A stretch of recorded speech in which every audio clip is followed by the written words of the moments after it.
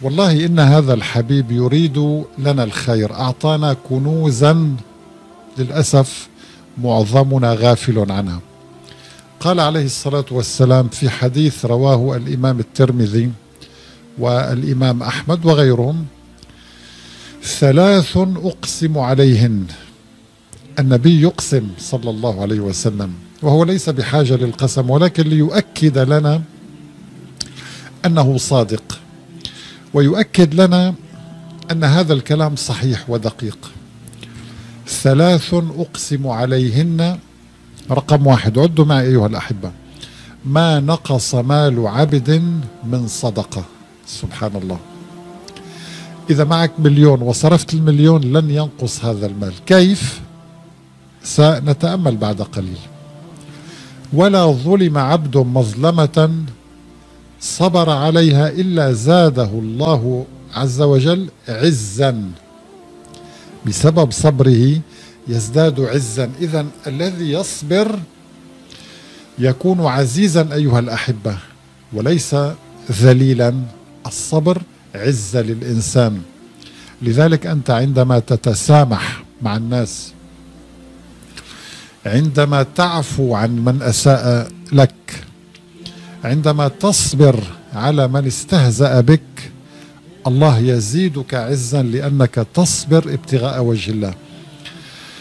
والذين صبروا ابتغاء وجه ربهم وأقاموا الصلاة. الشيء الثالث شيء حقيقة مخزي فعلا.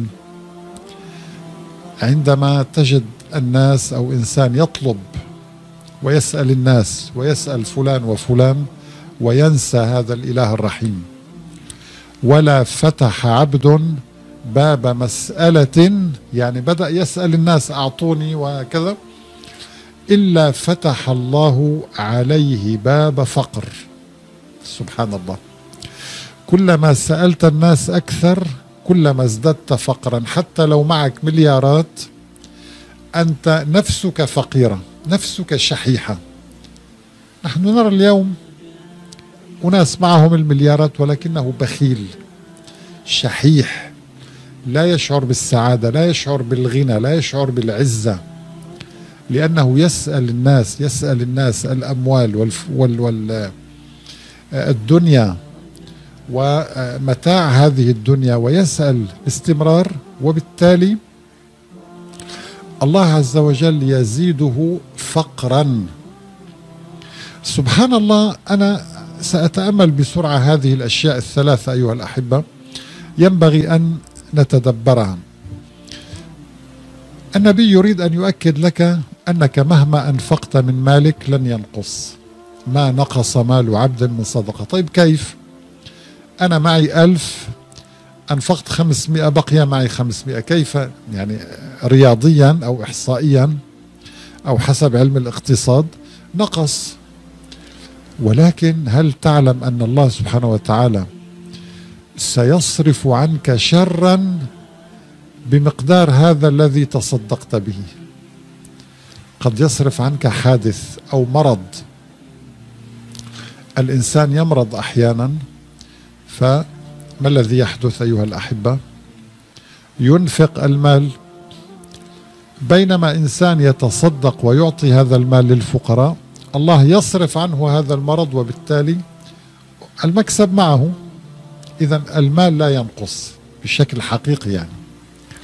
ولا ظلم عبد مظلمة صبر عليها إلا زاده الله سبحانه وتعالى عزا بهذا الصبر. اذا أيها الأحبة عندما تصبر على الفقر تصبر على الجوع تصبر على الخوف تصبر على أذى الناس. تصبر على أذى الأهل أو الزوجة أو الجار أو في كل أي شيء من أنواع الصبر تزداد عزا. يعني أصبحت أنا الآن بعد أن سمعت هذا الحديث أحب الصبر. عندما يؤذيني أحد يعني أصبر وأحتسب عند الله وأشعر بسعادة وأشعر أنني عزيز لأن الله هو الذي يعز ويذل أيها الأحبة. ليس المال يخطئ من يقول المال أو المنصب هو الذي يعز أو لا الله هو الذي يعز ويذل سبحانه وتعالى. لأنه عز وجل هو القادر على كل شيء وهو بيده كل شيء وهو الذي يمنح العزة لأنه هو العزيز. يقول تعالى قل اللهم مالك الملك تؤتي الملك من تشاء وتنزع الملك ممن تشاء وتعز من تشاء. الله يعز الصابرين وليس الأغنياء أحبتي في الله. لذلك يجب أن تحب الصبر. لا تكتئب هكذا و و وتحزن وتجزع وتشعر بالقلق. لا. اصبر لأن الجنة لا يدخلها إلا الصابرون. ما هو الدليل؟ وما يلقاها إلا الذين صبروا. كل الأنبياء صبروا. هل أنت أفضل من الأنبياء؟ هل أنت أفضل من النبي عليه الصلاة والسلام؟ كم صبر هذا النبي الكريم؟ صبر كثيرا. لذلك والله أيها الأحبة الصبر شيء الصبر ضياء. في حديث آخر النبي صلى الله عليه وسلم يقول والصبر ضياء. فلذلك يعني يعني آه، أنا أنا أعجب من إنسان يرزقه الله الصبر يعطيه الصبر. والنبي عليه الصلاة والسلام يقول ما أعطي المرء عطاء أوسع من الصبر ثم يرفض ويشمئز ويشكو الله لعباد الله ويتذمر. لا يا أخي الصبر عاقبته إن شاء الله الجنة. أما القضية الثالثة ما فتح عبد ولا فتح عبد باب مسألة. يعني اليوم للأسف للأسف كثير من الناس فتح هذا الباب. ولذلك نجد كثير من الناس فتحت عليه أبواب الفقر لأنه فتح باب المسألة. الغني الغني هو غني النفس أيها الأحبة. لا تسأل أحدا قل يا رب أنت دبر الأمر. هو الذي يدبر الأمر. هو الذي يهيئ كل شيء هو المسيطر على الكون. لذلك والله أيها الأحبة هذا الحديث من جوامع الكلم. يريح النفس. ليس هناك إنسان إلا ولديه بلاء كبيرا أو صغيرا غنيا أو فقيرا. يعني انظروا الآن وباء كورونا وكل يوم فيروس جديد وأسماء جديدة ومخاوف جديدة من الغلاء والوباء والبلاء. طيب ماذا تفعل؟ اصبر. حتى لو كنت غنيا اصبر. الصبر يزيدك عزا وضياء تجده في قبرك. ولا تفتح باب مسألة وأنفق ولو القليل اتقوا النار ولو بشق تمرة. نصف تمرة تطعمها لانسان فقير.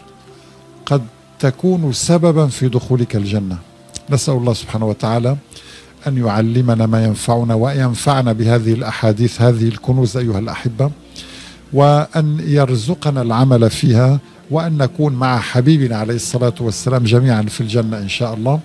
وآخر دعوانا أن الحمد لله رب العالمين. والسلام عليكم ورحمة الله تعالى وبركاته. سنريهم آياتنا في الآفاق وفي أنفسهم. حتى يتبين لهم أنه الحق.